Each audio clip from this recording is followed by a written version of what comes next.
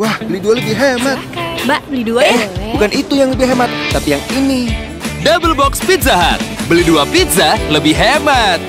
Untung tadi nggak salah beli. Eh, udah terlanjur.